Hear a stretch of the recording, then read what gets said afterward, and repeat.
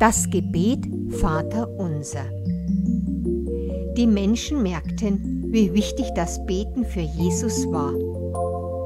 Jetzt antwortete Jesus auf die Fragen seiner Freunde mit einem Gebet. Und das geht so. Wir singen das Gebet.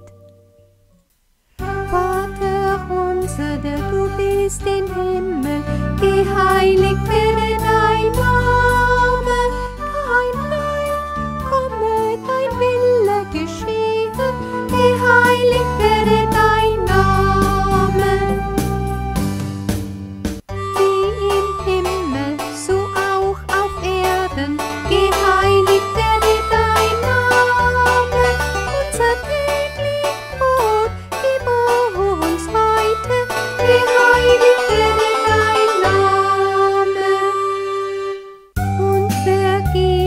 uns all unsere Schulden, geheiligt werde dein Name, wie auch wir unseren Schulden vergeben, geheiligt werde dein Name.